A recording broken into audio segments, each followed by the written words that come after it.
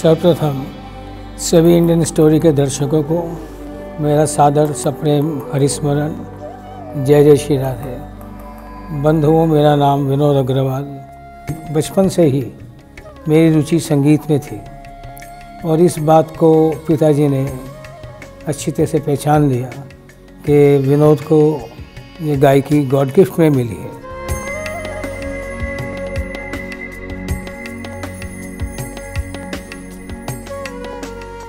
और तुम्हें आगे जा कर के हरि नाम का प्रचार करना है। किसी भी प्रकार का कोई शुल्क नहीं लेना और ना ही किसी प्रकार की कोई गिफ्ट लेनी है। बारह साल की उम्र में मैंने हारमोनियम सीखा, सिर्फ़ दो महीने के लिए, लेकिन प्रैक्टिस बहुत की। देखिए, बात समर्पण की आई तो मैं कह रहा हूँ, मेरा आपकी कृपा से सब काम हो रहा है। करते हो तुम कन्हैया, मेरा नाम हो रहा है।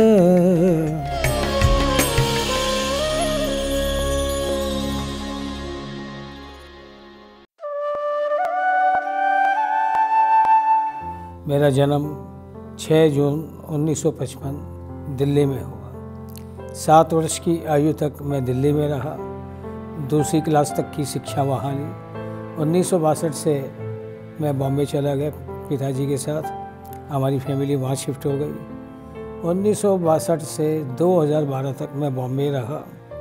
और 2012 के बाद आज तक मैं श्रीधाम वृंदावन में वास कर रहा हूँ। संक्षिप्त में बस इतना ही कहना है कि बचपन से ही मेरी रुचि संगीत में थी। नौ दस साल की उम्र में पिताजी मुझे सत्संग में ले जाते थे और हकीकत यह है कि मैं जा कर के दो मिनट के बाद ही सो जाता था। क्योंकि बहुत ऊँचे ऊँचे महापुरुषों के दर्शन दर्शन भी किए, उनके प्रवचन भी सुने, लेकिन पल्ले कुछ पड़ता नहीं था। दो मिनट सो, मैं ही सो जाता था। मैं पिताजी को कहता भी था कि मुझे तो आते ही नींद आ जाती है आप क्यों लेके आते हैं मुझे? तो उनका उत्तर बड़ा अच्छा था। बोले, बेटे, दो मिनट तो तू सुनता है। मेरा काम है बीज डालना। ये बीज कब पेड़ बनेंगे, मुझे इसका अंदाज़ा नहीं है। मैं, मेरा काम, जो मेरा फ़र्ज़ है, वो मैं अदा कर रहा हूँ। बड़े होकर तुम्हें क्या करना है, इसके लिए अभी से प्रेरणा देता हूँ कि मेरी नज़र में ईश्वर ने तुम्हें कुछ शक्ति दी है। उसका सदुपयोग करना, वो जन कल्याण के लिए न लगाना, न कि निस्वार्थ को अपना, उसको बीच में ला करके जीवन का साधन बनाऊँ ये प्रेरणा मेरे माता पिता से मुझे मिलती रही और एक मैं आज ये दावे से कह सकता हूँ कि अगर कुछ भी सफलता का अगर मेरे पास राज है तो एकमात्र मेरे माता पिता का आशीर्वाद है। उनका अखंड पुरुषार्थ मेरे लिए रहा। फिर उस समय ग्यारहवीं तक एसएससी होती थी और बम्बई में ग्यारहवीं के बाद बारहवीं से पंद्रहवीं तक ग्रेजुएशन होती थी। मेरी बहुत इच्छा थी कि मैं डॉक्टर बनूँ वो मेरे science, physics, chemistry, maths, algebra वगैरह बहुत ज़्यादा पावरफुल थे। तो दसवीं, ग्यारहवीं से मैं अपने बच्चों जो मेरे क्लास के साथी थे, उनकी मैं फ्री ऑफ़ चार्ज एक सहायता करता था। ये ट्यूशन कह रहे जो भी आप कहना चाहो। तो ये लगन शुरू से ही बचपन से थी कि जो चीज़ मुझे ईश्वर ने दी है, उसका मैं वितरण करूँ। बड़ी इच्छा थी। है तो ये स्टोरी थोड़ी बताने लायक तो नहीं है। लेकिन फिर भी मैं कहता हूँ कि भाई फ़र्स्ट ईयर साइंस में मैंने वहाँ एडमिशन लिया। लेकिन क्लास के अंदर मेरी आँख एक लड़की से लग गई। अब बनना तो मुझे डॉक्टर था, लेकिन वो गालिब का एक शेर है ना कि इश्क ने गालिब निकम्मा बना दिया।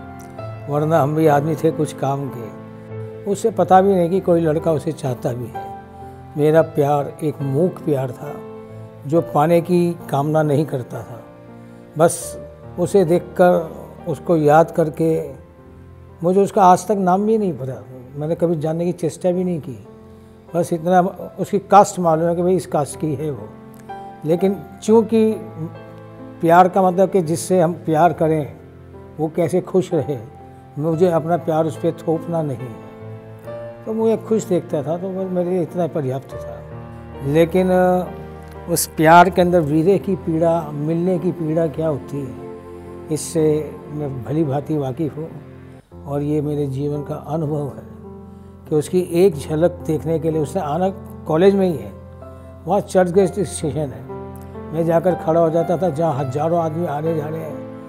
मैं एकदम बिल्कुल इस तरह से देखता था कि कहीं से दिख जाए वो। आना दस मिनट के बाद उसने कॉलेज में ही है। लेकिन इतनी आतुरता, इतनी व्याकुलता तो उसे देखने की होती थी कि वो दस मिनट भी मेरे लिए कितने भारी होते थे, ये मैं समझ सकता हूँ। क्लास में दिख जाती थी, मन को सुकून मिलता था। दो तीन बार ऐसा भी हुआ कि जैसे वहाँ केमिस्ट्री के वो होते प्रैक्टिकल्स, वो सामने से गुजर गई इस ट्यूब से इसमें केमिकल डालना था, वो एसिड मेरे हाथ पे गिर गया। वो सामने से क्या गुजरी? घटना घट गई। अब मैं जब पढ़ने बैठता था तो किताब खोलूं तो उसकी शक्ल किताब से हटे तो मैं कुछ पढ़ूं।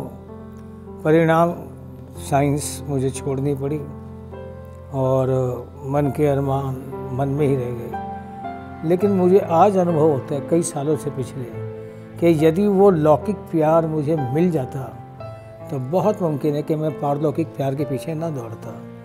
ईश्वर ने लौकिक प्यार करवा कर मुझे वो अनुभव करवा दिया कि मिलन की पीड़ा क्या होती है। जब मेरी पीड़ा, मेरी व्याकुलता और आतुरता पर मेरी नज़र जाती है तो ध्यान आता है कि मेरा के दिल की व्याकुलता कितनी होगी। गोपियों की और राधा के मन की पीड़ा क्या होगी?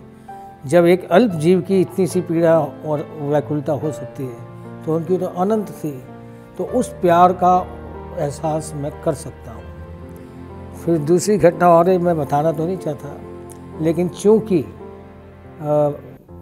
ये था प्यार रहा चंद महीनों ही, लेकिन कायदे में प्यार जाना नहीं चाहिए था, लेकिन मैंने कॉलेज छोड़ दिया।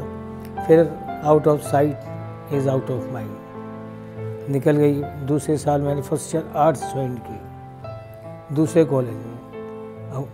वहाँ से, वहाँ दो कॉलेज आगे पीछे थे, एक सी शोर चौपाटी के सामने था और एक पीछे था। वहाँ भी मेरी एक लड़की से फिर आँख लड़ गई।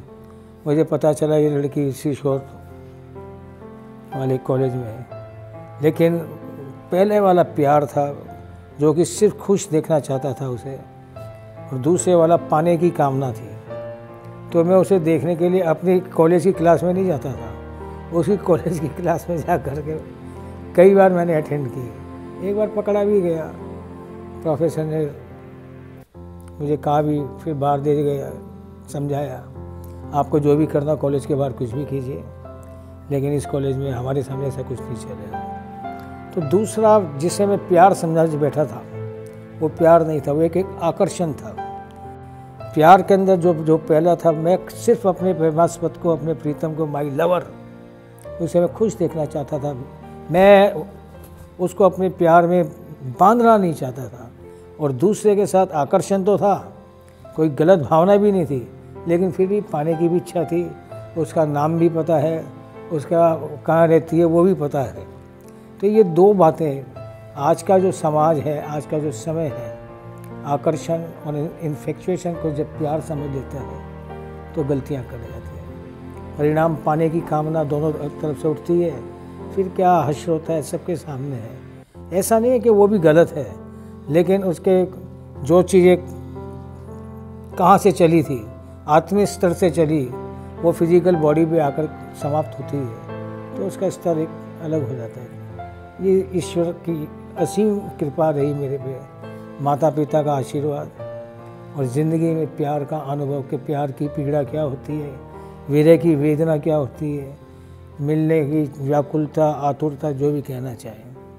तो ये प्रैक्टिकल लाइफ का दौर रहा उसके बाद बंधु, ज़्यादा पढ़ाई में मन तो लगा नहीं। इंटर उस समय तेरहवीं को बोलते थे। इंटर में मैं फेल हो गया। मैं, मैंने पढ़ाई छोड़ दी और पिताजी के साथ काम पे आ गया। हम लोग तीन भाई और एक बहन है। सब बॉम्बे में सेटल्ड हैं और बहुत चूँकि पढ़ाई नहीं कर पाया तो 20 साल की उम्र में ही मेरी शादी हो गई। मेरी धर्मपत्नी, उनका नाम कुछ समझता है। दिल्ली निवासी हैं वो भी। बहुत ही सुशील, बड़ी ही सरल हृदय, मृदु भाषिणी, जिसे कहते हैं, एक आदर्श गृहिणी में संज्ञा दे सकता हूँ। और मुझे ईश्वर की तीसरी कृपा कि मुझे बहुत अच्छी जीवन संगिनी मिली। फिर चौथी जो मेरे विशेष कृपा, जो इन तीनों कृपा से भी उठ कर के जो हुई, वो कहते हैं, गुरु बनाना जीवन में ज़रूरी है, लेकिन मेरे जीवन का सत्य ये है कि गुरु और सदगुरु दो चीज़ होती है। गुरु को हम बनाते हैं और सदगुरु जीवन में अपने आप आता है। तो मेरे जीवन में कहीं श्रद्धा जब थी किसी और महापुरुष के प्रति कि मैं उनसे दीक्षित होकर के आगे बढ़ूं लेकिन मेरे पिताजी ने कहा, जल्दीबाजी मत कर। तेरा बचपन से रुझान, संकीर्तन, भजन की तरफ़ रहा है। जल्दीबाजी मत कर। तो उनके कहने से मैंने थोड़ा इंतज़ार किया। संयोग से 78 अक्टूबर, जिनसे बाद में मैंने दीक्षा ली। स्वामी मुकुंद हरि जी महाराज अपने समय के संकीर्तन सम्राट की उपाधि से विभूषित थे। पंजाब में भटिंडा के थे वो। संजोग से बॉम्बे आए हुए थे। मैं जहाँ वो ठहरे थे। मैंने 50 फीट की दूरी से देखा और एक शरीर के अंदर रोमांच, कंपन, जो एक सात्विक भाव होते वो उमड़ने लगे। और एक जैसे अंदर से आवाज़ मुझे महसूस हुई कि, विनोद, तेरी मंजिल यही है। तेरा डेस्टिनेशन यही है। तीन दिन के लिए आए थे। मैंने तीनों दिन गया। चौथे दिन उनसे प्रार्थना की कि, भाई, मैं आपसे दीक्षित होना चाहता हूँ। तो वो हर किसी को जल्दी से दीक्षा नहीं देते थे। बोला, इंतज़ार करो। वो फिर इंतज़ार की भी घड़ियाँ समाप्त हुई। सेवेंटी नाइन में वहाँ हमारा मंडल था, पंडरपुर गया यात्रा के लिए। वहाँ वे भी आए थे, वहाँ उन्होंने मुझे दीक्षा दी। गुरु और सदगुरु के लिए बस मैं इतना ही बोल सकता हूँ। गुरु बनाए जाते हैं, सदगुरु जीवन में अपने आप आते हैं। गुरु मंत्र देता है, बीज मंत्र के रूप में। जैसे आम की गुठली दे दी, भाई ये गुठली है, इसके अंदर फल भी है, पेड़ भी है, लेकिन वो फल और पेड़ कल बनेंगे। पहले गुठली को बोइए, पानी डालिए, खाद डालिए, और मच्छरों से, जानवरों से रक्षा कीजिए, प्रकाश दीजिए, और बड़ा है, और सुरक्षा कीजिए। फिर एक लंबे अंतराल के बाद जब वो पेड़ बनेगा, फिर उसमें पत्ते आएँगे, फल आएँगे, फल भी जब रसी रसदार हो जाएँगे, तब तुम खाना। लेकिन सदगुरु जब से जीवन में आए, मुझे लगा कि उन्होंने बीज मंत्र के रूप में पेड़ ही लगा लगाए, लगा दिया। कि वत्स, इस पेड़ तुम्हारे को दे रहा हूँ, लगा रहा हूँ। अकेले फल मत खाना, समाज को बांटना और उसके बाद कुछ बचे तो रखना। उनका भी एक निर्देश ही था, एक तरह का आदेश था कि तुम्हें पूरे संसार में हरि नाम प्रचार करना है और कोशिश करना, एक पैसा भी तुम्हें दक्षिणा नहीं लेनी है, ना गिफ्ट लेना है। बचपन में माता पिता से ये प्रेरणा मिली। बाद में सदगुरु की प्राप्ति हुई तो उनका उनका भी आदेश था। तो उनका ये आदेश मैंने अपने जीवन का एम बना लिया कि भाई मुझे ज़िंदगी में ये काम ज़रूर करना है। लेकिन चूँकि उस समय मेरी उम्र 24 साल की थी, इससे व्यापार भी ज़रूरी था, जीवन यापन के लिए। यहाँ से तो कुछ लेना नहीं था। तो मैंने कोई विधिवत, कोई प्रोग्राम देने शुरू नहीं किए। हमारे यहाँ वहाँ ऑफ़िस है, वहीं संकीर्तन शुरू कर दिया। ताकि मुझे प्रैक्टिस फिर कारखाने में जाता था फैक्ट्री जाता था। उसी समय मैं अध्ययन करता था ताकि घर पे ना करना पड़े। क्योंकि घर का पालन, बीवी हैं, बच्चे हैं तो वो तो अपने ढंग से ही चाहेंगे। इसलिए एक डिफरेंस मैंने बना कर रखा, एक बैलेंस लाइफ कि परिवार को जो चाहिए वो परिवार को दूँ, मन को जो चाहिए वो मैं खाली समय में अपने आप ग्रहण करूँ। तो at the time of travelling मेरा अध्ययन, चिंतन, मनन चलता रहता था। फिर 93 से मेरे साथी हैं जो 25 साल से मेरे साथ चल रहे हैं, श्री बलदेव किशन जी सहगल, जगाधरी के। उन्होंने मुझे प्रेरणा दी कि भाई तू बम्बई से बाहर निकल लाइव प्रोग्राम देने के लिए। तो उन्होंने मेरे पिताजी से परमिशन मिली। पहला कार्यक्रम जो था, मैं अमृतसर अपने बिज़नेस से गया हुआ था। वहाँ उन्होंने जगाधरी उतार करके यमुनानगर, पहला का प्रोग्राम एज ए प्रोग्राम मैंने यमुनानगर दिया। उसी दिन रात को पानीपत भी दिया और वहाँ से ये सफ़र भी प्रारंभ हुआ। लेकिन मैं व्यापारी था, परिवार था तो एक बहुत सीमित मात्रा में 93 में पूरे साल में मैंने पाँच प्रोग्राम ही दिए। फिर 94 में दस किए ताकि एक बैलेंस बना रहे कि व्यापार तो अपने समय चाहता है। हर साल फिर आठ दस आठ दस प्रोग्राम बढ़ाता गया। 2000 में एक अपना, मेरा एक लड़का है और एक लड़की है। लड़के की शादी कर दी तो उसको, उसने अपना काम शुरू कर दिया। मेरी आधी जिम्मेवारी समाप्त हो गई। 2001 से मैंने लाइव प्रोग्राम जो कि 2000 पे, एक महीने में पाँच तक पहुँच गए थे, वो सीधे सात कर दिए। क्योंकि आज का समय ऐसा है कि अपने बच्चों से भी हम ना मांगें तो हमारा स्वाभिमान बच सकता है, हमारी खुददारी बच सकती है। हाथ यों रहे तो ही अच्छा है, यों तो किसी के सामने भी अच्छा नहीं लगता। तो अपना बिज़नेस थोड़ा और प्रोग्राम भी बढ़ा दिए, क्योंकि जिम्मेवारी समाप्त हो गई। फिर अपने बुढ़ापे के लिए भाई कुछ दाल दलिया बना के चले वो समय आ गया फिर 2012 से मैं वृंदावन शिफ्ट हो गया अपना काम वाइंड अप करके, अपनी पूर्ण पारिवारिक जिम्मेवारियाँ पूरी करके, लड़के की शादी, पोता भी हो गया ट्विंस पोतियाँ भी, लड़की के भी, एक लड़की है तो देवती भी हो गई, वो सब पाँच पाँच, सात सात साल के हो गए उसके बाद मैं, मैंने पूछा फिर श्रीमती जी से, ये उन्नीस सौ पचानवे और अट्ठानवे पिताजी और माता जी माता जी का नाम मेरा स्वर्गीय श्री रत्नी देवी जी अमृतसर की थी वे पिताजी का नाम स्वर्गीय श्री श्री किशन दास जी, भिवानी बेस्ड हरियाणा बेस्ड थे। उनका देहावसान हो गया। तो जब वृंदावन शिफ्ट होने लगा, मैंने अपनी पत्नी से कहा कि भाई, शरीर के ऊपर पहला अधिकार तो माँ बाप का कोई तो अब रही नहीं। दूसरा अधिकार अब तेरा है। तू चाहेगी तो ही मैं वृंदावन रहूँगा, नहीं तो मेरे लिए वृंदावन कुछ नहीं है। तेरी खुशी क्यों तो मेरी जीवन संगी है उसने शहर से अपनी स्वीकृति दे दी। हम दोनों आ गए हैं। आज जैसे भी हैं, बहुत खुश हैं। ईश्वर की असीम अनुकंपा है। जो भी हैं हम माता पिता का आशीर्वाद, संतों का आशीर्वाद, सदगुरु की कृपा और सबके अंदर ईश्वर की कृपा। इसी के बाद और ज़्यादा कुछ ना कहते हुए एक ही संदेश मैं सबको देता हूँ। कि जीवन में तीन काम ज़रूर करें हर एक व्यक्ति का तीन तरह का जीवन। है पारिवारिक जीवन, सामाजिक जीवन और आध्यात्मिक जीवन। पारिवारिक जीवन बिगड़ते कब हैं? जब त्याग की वृत्ति नहीं होती है। संग्रह पे आ जाता है कि जो मिले मेरे को मिले छोटे बड़े का कोई ख्याल ना करें। संघर्ष शुरू हो जाता है। संघर्ष संग्रह में है, त्याग में नहीं। तो इसे त्याग खुद करें। सामाजिक जीवन के लिए सेवा हम दूसरों की करें। सामाजिक कह लो, राष्ट्र के लिए कह लो। सेवा दूसरों की करें, त्याग खुद करें और प्यार केवल ईश्वर से करें तो तीनों जीवन हमारे सफल हो सकते हैं। और ये चीज़ हमारे ही हाथ में है। करनी हमें ही पड़ेगी। ईश्वर सहायता भी तब करता है। पहले हम अपनी जीवन का कुछ लक्ष्य बनाए कि what is the aim of my life aim कई लोग, जैसे मैंने पहले डॉक्टर का बनाया लेकिन मेहनत तो की नहीं। एम अच्छा हो तो प्रयास भी उतने भी टायर लेस एफर्ट्स पहली बात, एम निर्धारित करें।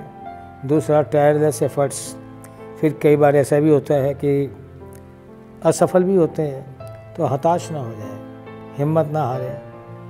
थोड़ा धैर्य पेशेंस भी रखें। ये तीन बातें जहाँ होगी, मंजिल निश्चित रूप से मिलेगी। तीन तरह के जीवन हमारे तीनों सफल हो जाएँगे। इसी संदेश के साथ मेरी पुनः सभी इंडियन स्टोरी के दर्शकों को सादर सप्रेम प्रेम हरिस्मा